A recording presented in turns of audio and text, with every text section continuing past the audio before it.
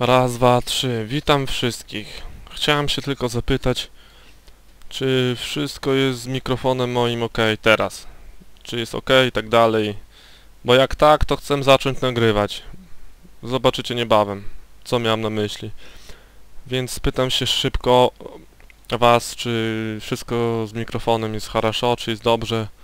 Nie ma zakłóceń, piszczenia, pierdzenia i- itp. I w tle piszczenia, no nie wiem, cokolwiek. No, więc czekam na wasze szybkie komentarze, żebym za mógł zacząć g- y, nagrywać, bo mam chwilę czasu, więc liczę na was i pozdrawiam wszystkich i hejterów też.